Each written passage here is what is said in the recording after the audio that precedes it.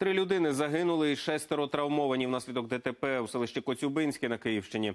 Легковик зіткнувся з пасажирським автобусом. Усі загиблі були в легковому авто. Шестеро пасажирів маршрутки травмовані. За словами очевидців, легковик їхав дуже швидко.